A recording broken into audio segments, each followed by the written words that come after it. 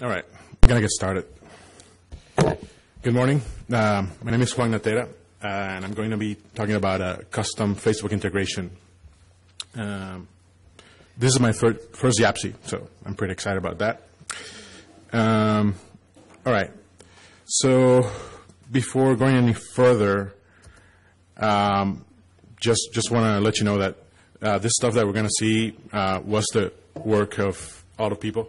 Uh, these are just some of the names uh, of the engineers, QA engineers, uh, persons, program management that were involved in developing this this project. Um, so I just want to give a nod to them. Um, also, um, I wanted to uh, introduce me. Uh, I've been using Perl since 2000. I'm currently working at Ticketmaster as a lead engineer, and I'm a member of uh, Los Angeles Perlmongers. Formerly, I was a, a member of Caracas PM, uh, which is in Venezuela, South America. Okay. Um, so, I assume that um, all of you are here because um, there weren't any seats left at the jQuery talk.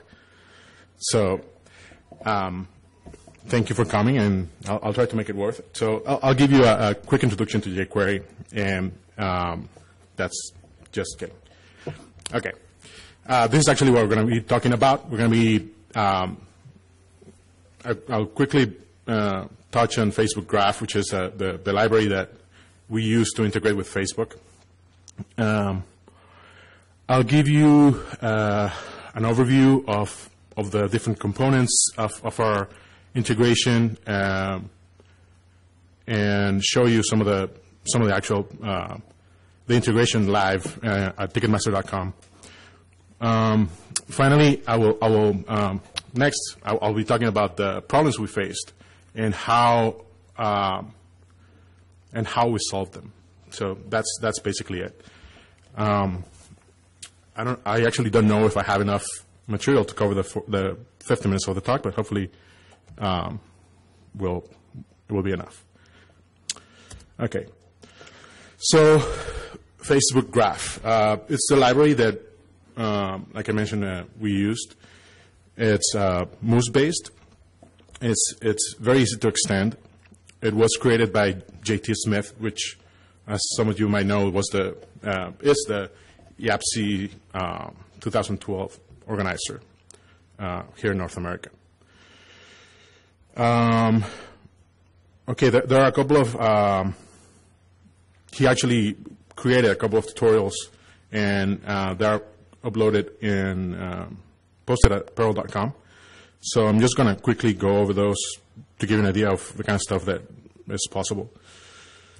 Um,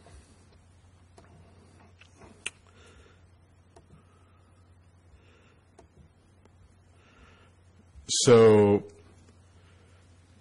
in this in this article, he talks about uh, using Facebook Graph to provide uh, Facebook authentication for your website.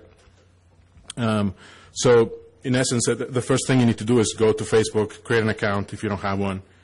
Uh, there's still a few people that don't have a Facebook account. Um, and and register your application. Okay, uh, by registering your application, you're going to get a, an application ID, an application secret, which is uh, two pieces of data that you need in order to use uh, Facebook Graph. Um, so um, in here, he has a, a, a dancer application that um, basically allows you to um, use Facebook to, to log into, into your website. And what it basically does is um, it requests a token on behalf of the user. And that access token allows you to make calls on behalf of the user to get data from Facebook or post stuff to Facebook. Um, so, uh, pretty nice tutorial. Check it out if you if you need to. Um, uh, he has a follow-up example in which uh, he describes how to post to people's walls um, using Facebook Graph. So check it out. It's in uh, Perl.com in the archive for April of 2011. Okay. So back to the presentation. Um,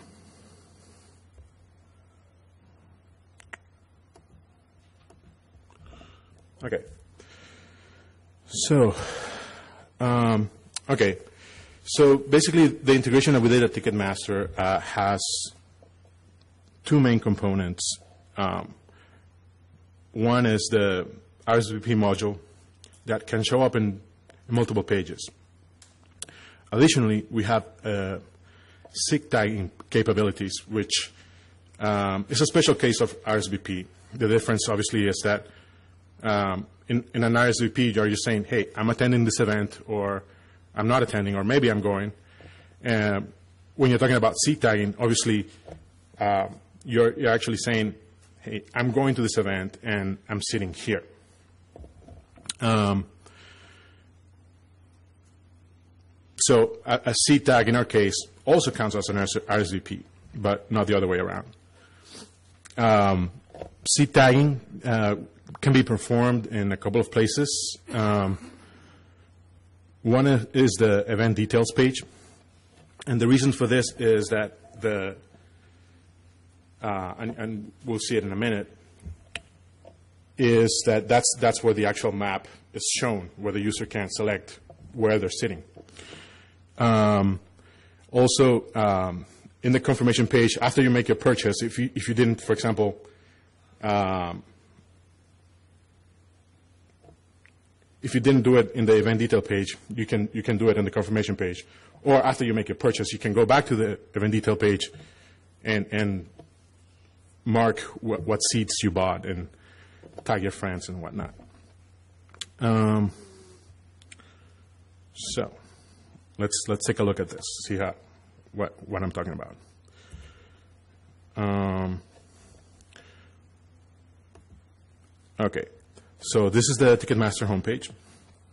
Um, and here on the right, this is the this is the RSVP module. And as you can see, um, it has uh, the most popular events for for the area that you are localized to. Uh, so this, these are all Wisconsin venues. And you can see that uh, 498 people have RSVP to this particular event. Um, if I actually had any friends here that are connected to Facebook and they're sharing their information, um, they will be shown in this tab here.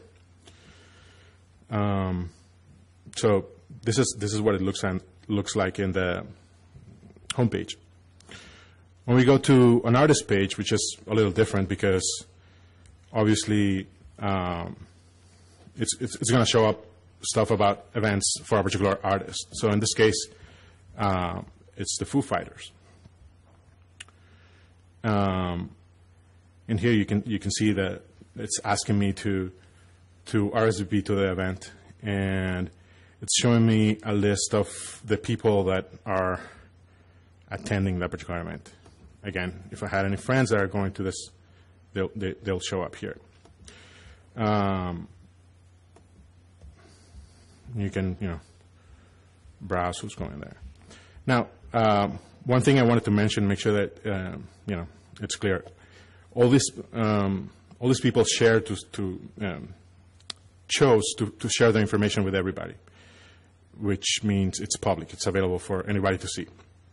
Um, you, you can also share your information with just your friends. So if you want uh, just that close group to be able to see uh, if you're going and whatnot, only they will be able to see it. Okay. Um, okay, so um, so I talked about the homepage. I talked about the artist page.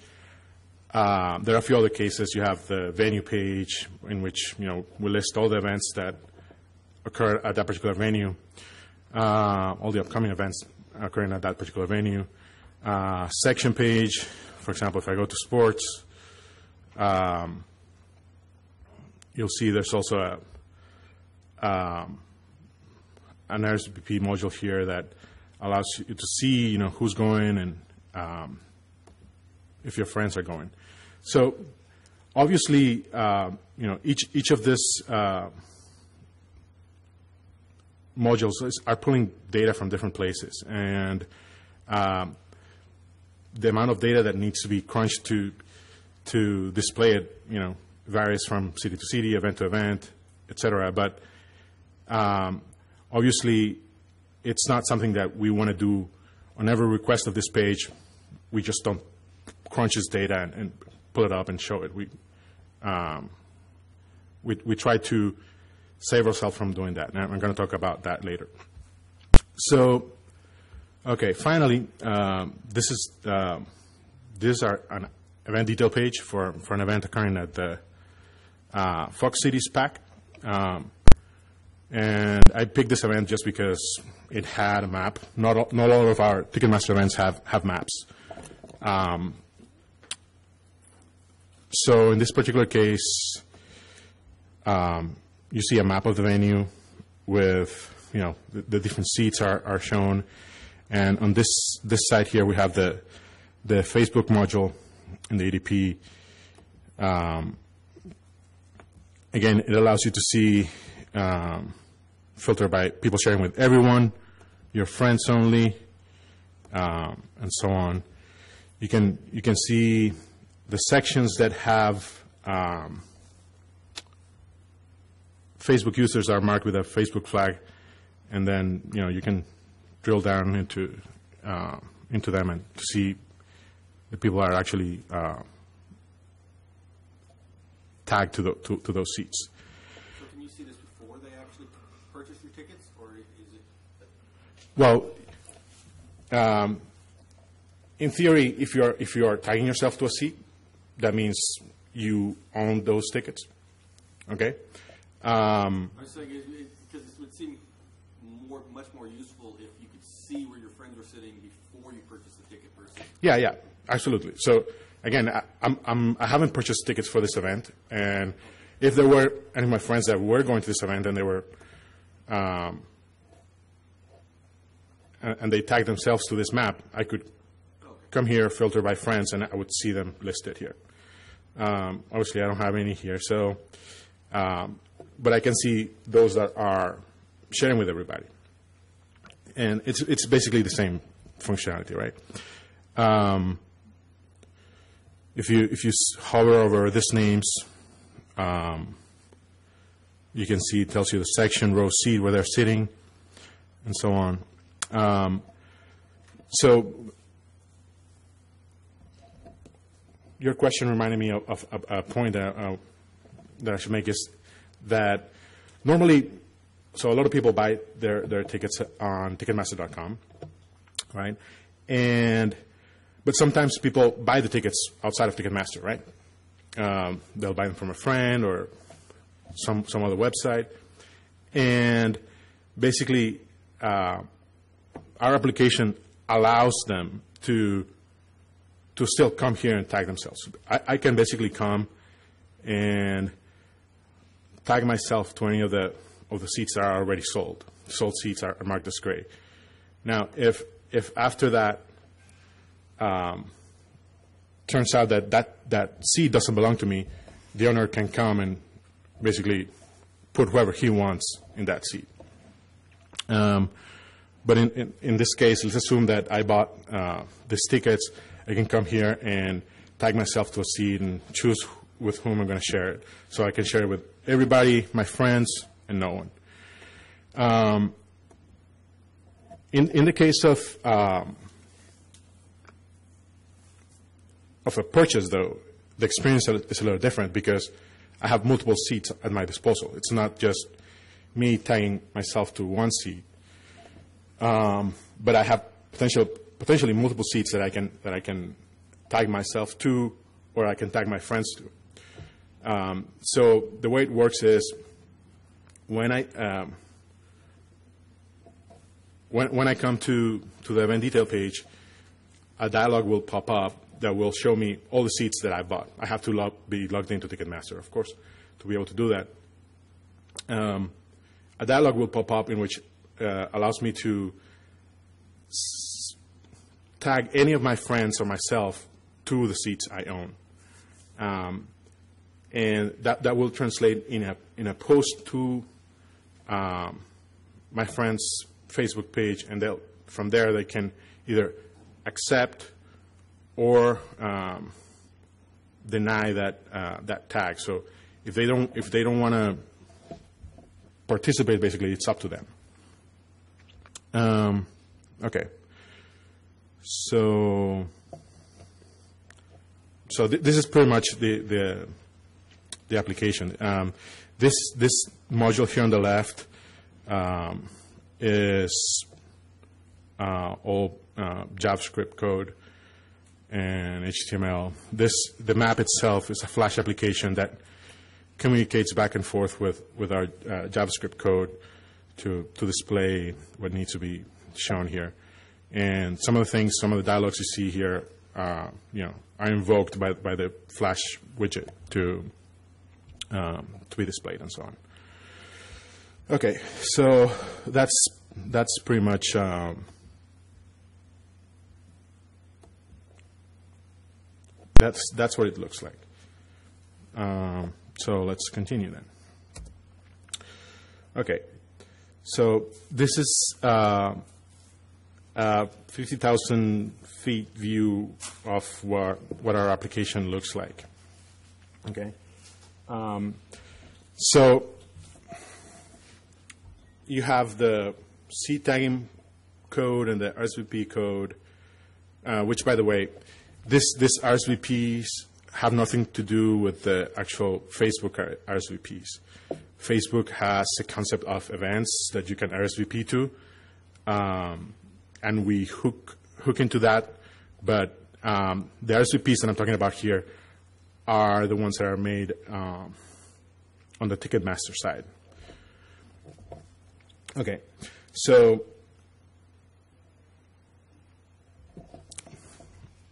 basically, this this is this is what it looks like, right? And we have um, this our seat tagging code connects to the Facebook Graph um, client that we built, and to perform um, calls like, okay, get me information about this user, get me information about uh, the user's friends, um, and so on. The only information that, that we pull from Facebook are things like your name, uh, your picture, and so on. Um, so this any, any requests that goes out to Facebook goes through our our queuing system, which allows us to basically turn synchronous request to Facebook into an asynchronous request, so that the UI is not blocked uh, on on waiting for for stuff from from the third party. Okay, um, we store the actual tags in database. We don't store any uh, Facebook information in our database, other than you know, just the ID. Um, obviously, when we going going out to Facebook to get stuff, that's we consider that an expensive operation, and we want to cache results of, of these calls.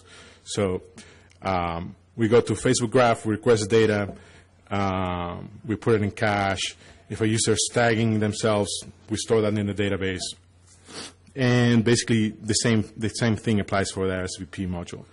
Uh, we go to Facebook to get data, so we can display. Okay, are any of your friends going, and who are your friends? So you can select. Uh, in the case of tagging, for example, when we display the dialog that allows you to, to associate one of your friends to a seat, we need to know who your friends are. So we need to go to Facebook and pull that data from, for you.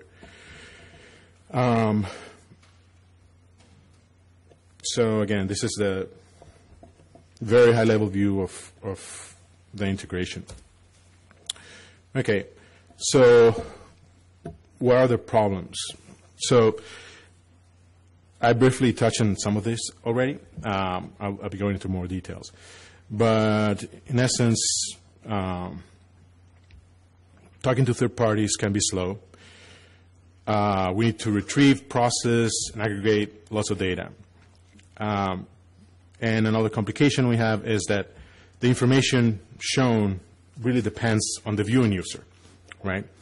Um, my friends are not necessarily the same as your friends, and anything that is shown on a page is really your view of, of, of that state. It's not, um, it's basically, it's not shared, it's, it's for you only, right? So, um, bef- before we, uh, before I continue here, uh, I wanted to give you guys a warning. Um, this is this is from the scene in Apollo 13 in which, uh, you know, Houston, we got a problem, and and the guys uh, in Houston basically need to figure out how to fix it with a certain set of tools. So um, I know that in our case, there there are probably better tools we could have used to to perform a, our integration, but we we were limited to a certain number of things, and that's how we did it. You know, it's in a way those constraints made it a little bit more interesting. So, okay, talking to third parties can be slow. So how how do we solve this? Uh, actually, yeah. We, we place all the requests going to, to a third party, in this case Facebook, in our queue system. Uh, our queue system have dedicated processes that uh, perform synchronous requests on behalf of the application. Um, and then the application can later come and check for the status of, uh, of our request, and if, you know, if we, if we have the answer, then it will retrieve the results. Otherwise, you know, we'll repeat that process later. Um, obviously, we, you want to cache as much, as much as you can. You don't want to uh, be having to go out each time you want to, to retrieve this information. So cache as much as you can. And you'll see this in several slides. Okay. So, okay. Obviously, there's, there's a need to retrieve lots of data. And a lot of the data, like I mentioned before, is, is very specific to the viewing user. So, um, in our case, for example, when we are, in the case of the event detail page, where we have several hundred users sharing their information, and we need to go out and go out to Facebook and pull information for uh, about those users, their, their profile uh, URL, the picture, the name, and so on, so we can display uh, the pictures and, and, names and stuff. Um, that information is specific to, to the events, right? And let's say that, um, let me show you something. Right, so we, we, we pull this information from Facebook, and um, in this case, I don't know how many there are here, but maybe, I don't know, maybe a couple dozen or so. Um, so we, we need to be able to to be a little smart about this. And when we go to the database and see, okay, so there are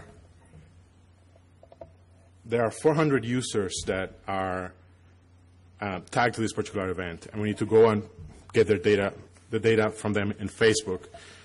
We don't actually try to request information for users we already have. So what we do is uh, that we have in cache. So what we do is we figure out the delta. Okay, so what what do we have in cache? What users we don't know about, and then we'll make the request to get the data of the users we don't know about, and then we'll update the information in cache so that uh, next time we we don't have to um, so we don't have to go um, again to Facebook and, and, pull out that data. So um, figure, figuring out the deltas so that you request uh, smaller amounts of data from them. Okay. Um, from the application side, uh, don't transfer data if you don't need to. So basically, when when a user um, when the browser makes a request to our to our backend uh, to retrieve information, it does it. Um, it, it provides a, a, a value in the ETAG header, which basically is it's a version number. So what we do is we compare that to to the data we have um, for the event, and if the versions don't match, then you know that uh, there's there's fresher data. So you'll pull that information up. But if, if, if it's the same, then the communication ends there. There's no need to exchange any more, any more data. Um, so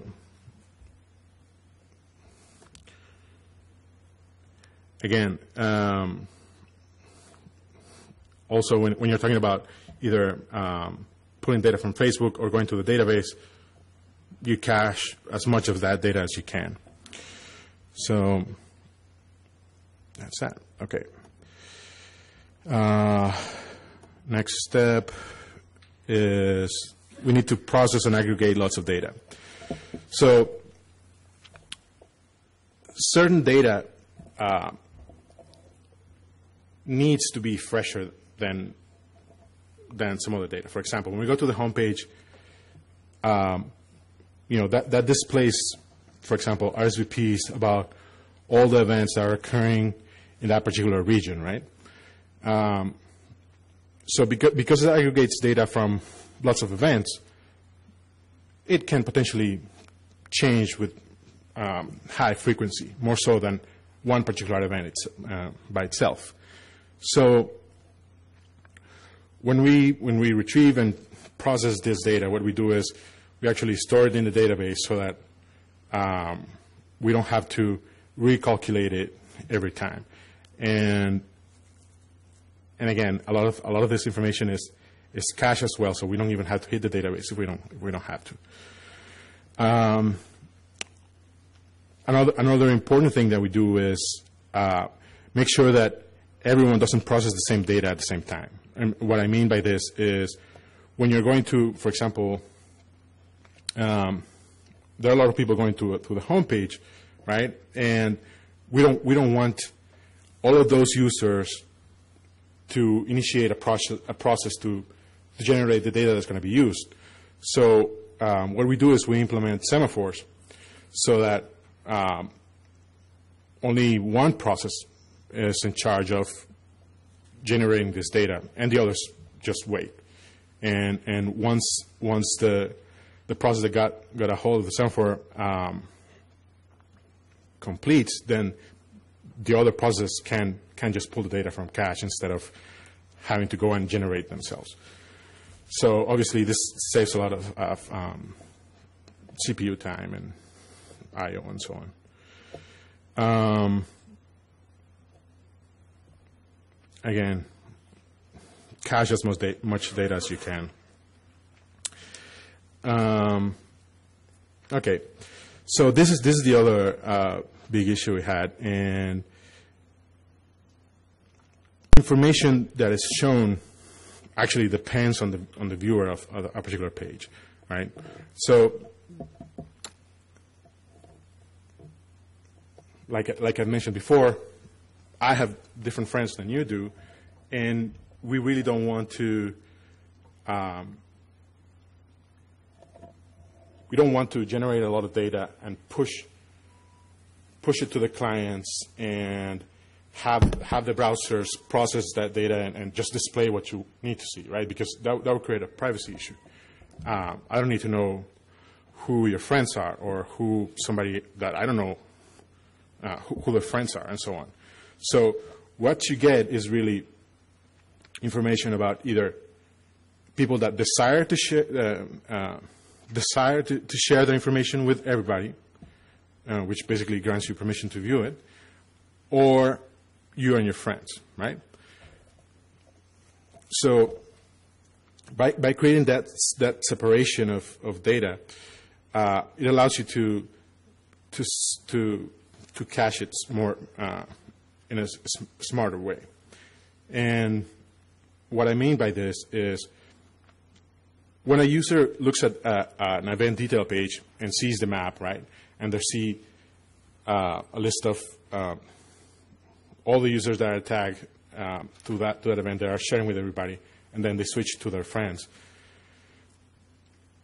What what a user really cares about is not so much about the people that are sharing with, with everybody, but they care to see their friends' information, right?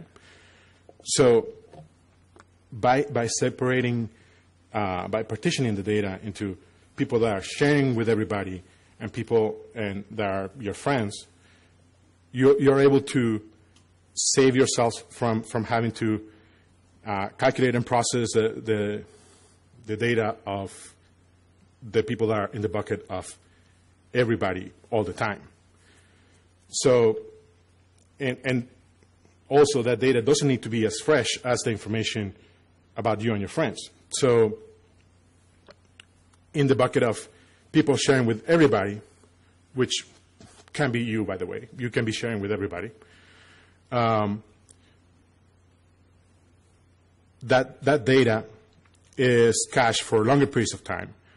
So, let's say there, there are, I don't know, a thousand users tagged tagged to a to a map, and 500 of them are sharing with everybody.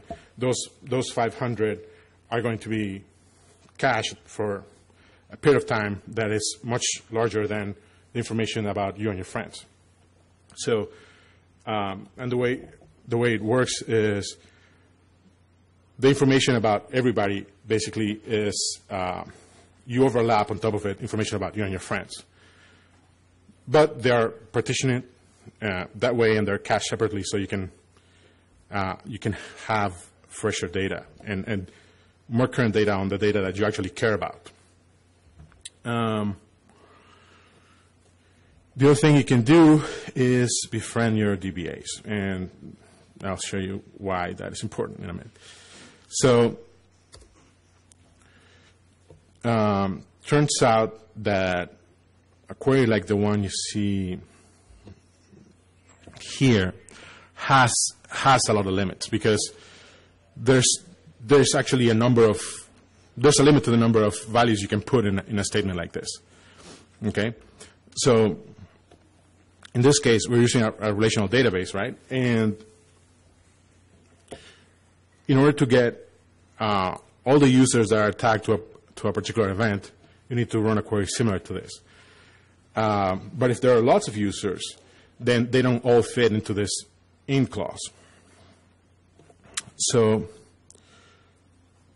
uh, what we found out with help of um, some of our um, senior engineers and DBAs was that we can actually use an Oracle temporary global table, uh, which provides in-memory storage that is private for each connection. Um, so what we do is first we insert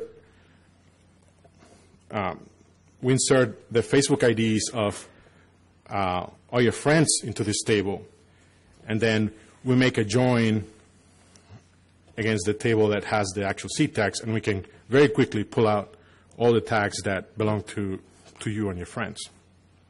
Um, this, this, this was a, a very interesting problem, and, and we're glad we were able to find a solution that you know helped us uh, meet the requirements.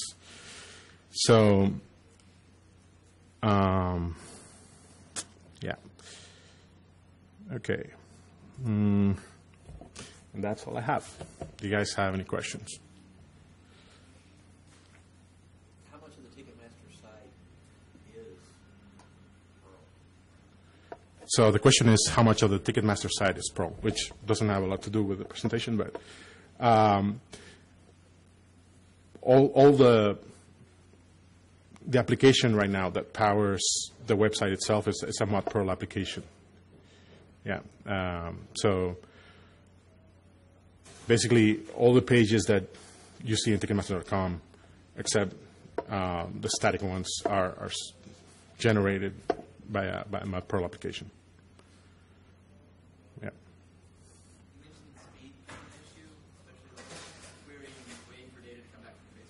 Uh,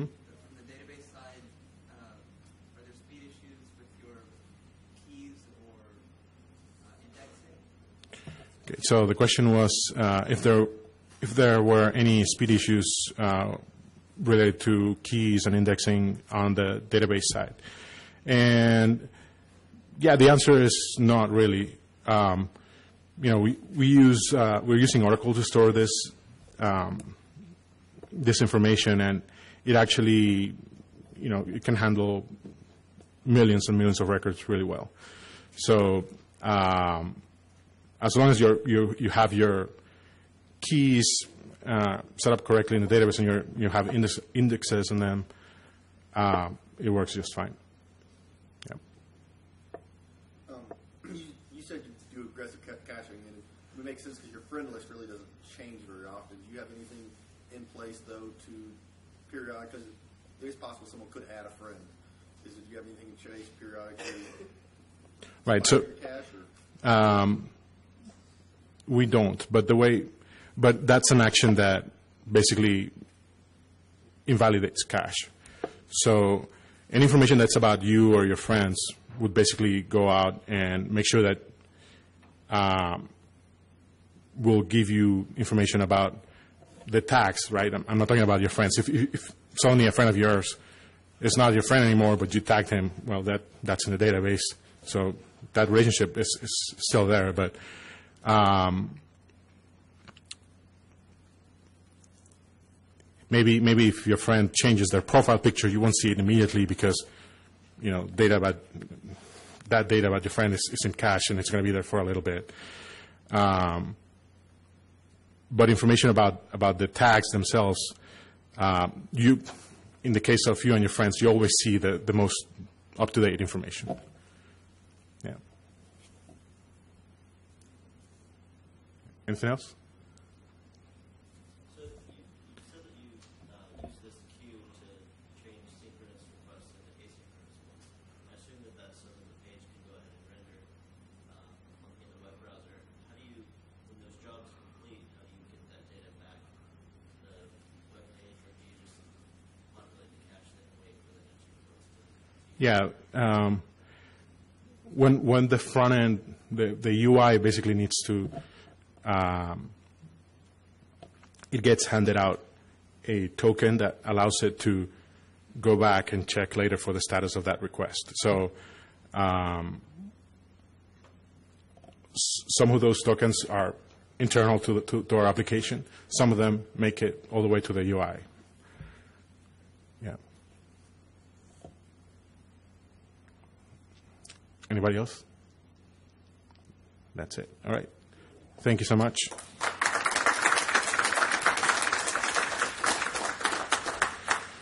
And here, here are some references to um, to the Facebook documentation. That the uh, both articles that I uh, mentioned about uh, Facebook Graph that J.T. Smith did, and as well as a link to a success story. That's something I forgot to mention.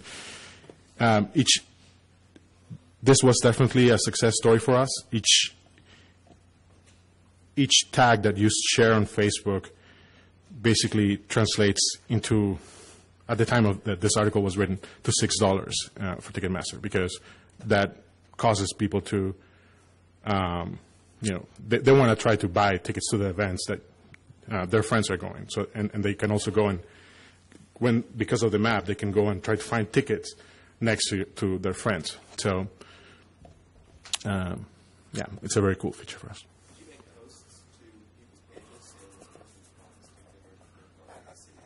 Um, yeah, we, we can do that. They but they have to, you know, the user has to give the okay for that. Yeah.